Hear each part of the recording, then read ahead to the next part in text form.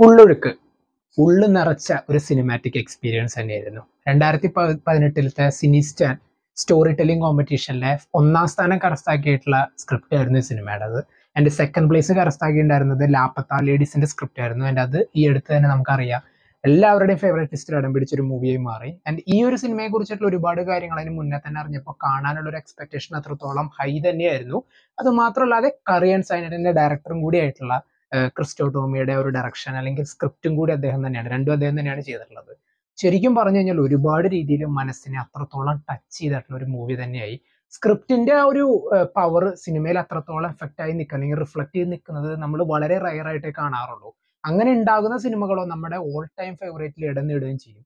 And ഈ സിനിമയിലേക്ക് വരുമ്പോൾ ആദ്യം തന്നെ എടുത്തു പറയേണ്ടത് സുഷിൻ ശ്യാമിന്റെ മ്യൂസിക്കും ക്രിസ്റ്റോട്ടോമിയുടെ ഒരു സ്റ്റോർ സ്ക്രിപ്റ്റും അതുപോലെ മറ്റുള്ള ലീഡിങ് പെർഫോമൻസിൽ ഉർവശി ആൻഡ് പാർവതി. രണ്ടു പേരാണ് ഈ സിനിമയുടെ മെയിൻ ആയിട്ടുള്ള സോൾ ഇവരൊന്നും ഇല്ലാതെ ഈ സിനിമ കംപ്ലീറ്റ് ആവില്ല എന്ന് തന്നെ പറയാം. കാരണം പടത്തിന്റെ തുടക്കം തൊട്ട് അവസാനം വരെ അവരുടെ ഇടയിലുള്ള ഇമോഷൻസ് ഈവൻ അവരിങ്ങനെ അടുത്ത് വന്നിരിക്കുമ്പോൾ അവർക്ക് പറയാനുള്ള കാര്യങ്ങൾ ആ ഒരു ടച്ചിലോ അല്ലെങ്കിൽ കയ്യോട് കൈ ചേർന്നിട്ട് നമ്മളിങ്ങനെ ഒരാളെ ആശ്വസിപ്പിക്കാനും എന്തേ ഒരാൾ വിഷമത്തോടു കൂടി ഇരിക്കുമ്പോൾ നമ്മൾ ചിലപ്പോൾ കൈ ഇങ്ങനെ വെച്ചിട്ട് സമാധാനിപ്പിക്കും ഇല്ലേ അതിന്റെ ഒരു മാജിക് സിനിമയിൽ പല സീനുകളിലും എടുത്തു തന്നെ കാണായിരുന്നു. തന്റെ മകൻ മരിച്ച വിഷമത്തിലിരിക്കുന്ന സമയത്ത് ഒരു അമ്മയും മരുമകളുടെ ഇടയിൽ ഉണ്ടാവുന്ന പല കാര്യങ്ങളും അതെന്തൊക്കെയാണെന്നുള്ളത് ഓരോന്ന് ഓരോന്നായിട്ടാണ് സിനിമയിലൂടെ ഇങ്ങനെ പറഞ്ഞു പോകുന്നത്.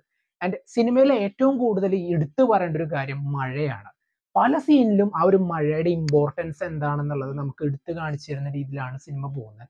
കാരണം ഇപ്പോ രണ്ട് പേര് അവിടെ ആ ഒരു വീട്ടിൽ നടക്കുന്ന പല കാര്യങ്ങളുടെ ഇടയിലും പുറത്തുള്ള മഴയുടെ സൗണ്ട് നമുക്ക് ഇങ്ങനെ കേട്ടുകൊണ്ടിരിക്കുക അല്ലെങ്കിൽ നമ്മൾ ആ ഒരു മരണ വീട്ടിൽ ചെന്ന് നിന്നുകൊണ്ട് ഒരുപാട് കാര്യങ്ങൾക്ക് സാക്ഷിയാകുന്ന ഒരു അവസ്ഥ തന്നെയാണ്. സിനിമ കഴിയുമ്പോഴും ഉള്ളു നിറച്ചുകൊണ്ടാണ് സിനിമ അവസാനിച്ചത്. ശരിക്കും ഞാൻ പറഞ്ഞാൽ ഒരു ഇമോഷണലി ഭയങ്കര വിഷമിപ്പിക്കുന്ന ഒരു എൻഡിങ് ആണെന്നാണ് വിചാരിച്ചത്. പക്ഷെ ഭയങ്കര രീതിയിൽ മനസ്സ് നിറച്ച ശരിക്കും കണ്ണ് നിറഞ്ഞു പോയി എന്ന് തന്നെ പറയാം. അങ്ങനെയുള്ള ഒരു എക്സ്പീരിയൻസ് തന്നെയായിരുന്നു. സിനിമയുടെ ആ ഒരു അവർ പറയാൻ ഉദ്ദേശിച്ച കാര്യങ്ങളും അല്ലെങ്കിൽ ലീഡിങ് പെർഫോമൻസിന്റെ ആ ഒരു എടുത്തു പറയേണ്ട ഒരുപാട് കാര്യങ്ങളുണ്ടായിരുന്നു. ആൻഡ് ഉർവശിയുടെ പെർഫോമൻസ് എടുത്തു പറയേണ്ട മറ്റൊരു കാര്യമാണ്. കാരണം പടം തുടങ്ങി ഒരു അഞ്ചു പത്ത് മിനിറ്റ് കഴിയുമ്പോൾ തന്റെ മകന്റെ കുട്ടിക്കാലത്തെ കുറെ ഓർമ്മകൾ മരുമകളുടെ അടുത്ത് പറയുന്ന ഒരു സീനുണ്ട് ആ സീനിൽ രാത്രി ഇരുന്നിട്ട് ഇതിനെ കുറിച്ചിട്ട് ഇങ്ങനെ പറയുമ്പോൾ കയ്യോ കൈവിരലൊക്കെ ഇങ്ങനെ വെച്ചിട്ട് ഇങ്ങനെ ഓർത്തോർത്ത് പറയുന്ന ഒരു സീനുണ്ട് ബട്ട് ആ ഒരു കൈവിരലിന്റെ മൂവ്മെന്റും അല്ലെങ്കിൽ സംസാരിക്കുമ്പോൾ ഉണ്ടാകുന്ന ഒരു വിഷമങ്ങളും ചില സീനുകളിലത്തെ സന്തോഷങ്ങളൊക്കെ ഉർവശി എന്ന് പറയുന്ന നടിയെ കുറിച്ച് നമുക്ക് ഒരിക്കലും പ്രത്യേകിച്ച് എടുത്തു പറയേണ്ട ആവശ്യമില്ല. ഒരുപാട് റോളുകളിലൂടെ നമ്മളെ വിഷ് വിസ്മയിപ്പിച്ചിട്ടുള്ള ചിരിപ്പിച്ച് ചിരിപ്പിക്കുകയും ഒരുപാട് സെന്റിമെന്റിലാക്കുകയും ചെയ്തിട്ടുള്ള ഒരു ക്യാരക്ടർ തന്നെയാണ്.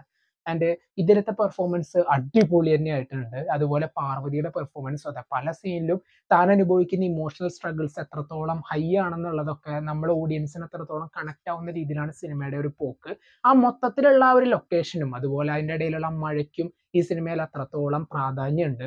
ഇവരുടെ രണ്ടുപേരുടെ ഇടയിൽ നടക്കുന്ന പല കാര്യങ്ങൾക്കും സാക്ഷിയായിട്ട് അവിടെ മഴയും പ്രേക്ഷകനായ നമ്മളുമാണ് പ്രേക്ഷകരായ നമ്മളുമാണ് അങ്ങനെ ഒരുപാട് രീതിയിലുള്ള പലതരത്തിലുള്ള കാര്യങ്ങൾ പറഞ്ഞുകൊണ്ടാണ് പടം മുന്നോട്ട് പോകുന്നത്.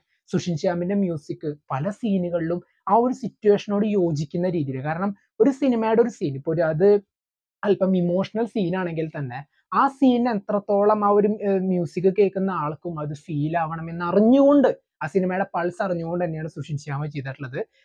സിനിമാറ്റോഗ്രഫിയും അല്ലെങ്കിൽ എഡിറ്റിംഗ് ആയാലും സൗണ്ട് ഡിസൈൻ അതിനൊക്കെ അത്രത്തോളം ഇമ്പോർട്ടൻസ് സിനിമയിലുണ്ട്. ആൻഡ് ക്രിസ്റ്റോ ടോമി എന്ന ഡയറക്ടർ ആൻഡ് സ്ക്രിപ്റ്റ് റൈറ്റർ അടിപൊളിയായിട്ടുണ്ട്. ഇനിയും ഒരുപാട് ഒരുപാട് സിനിമകൾ മുന്നോട്ട് കൊണ്ടുവരാൻ സാധിക്കട്ടെ. സിനി മലയാള സിനിമയിൽ എടുത്തു പറയാവുന്ന നല്ലൊരു മൂവി എക്സ്പീരിയൻസ് തന്നെയാണ് ഇത്. ഇപ്പൊ ടെക്നിക്കൽ വൈസ് ആയാലും സ്റ്റോറി വൈസ് ആയാലും എന്തായാലും തീർച്ചയായിട്ടും നിങ്ങൾ കണ്ടു നോക്കുക. പടം നിങ്ങൾ ഒരിക്കലും നിരാശപ്പെടുത്തില്ല. ഈ ഉള്ളൊഴുക്ക് ഉള്ളു നിറയ്ക്കും നിങ്ങളുടെ. പടം കണ്ടവർ നിങ്ങളുടെ അഭിപ്രായം കമന്റ് ബോക്സിൽ നോട്ട് ചെയ്യുക. കാണാത്തവർ എന്തായാലും കാണുക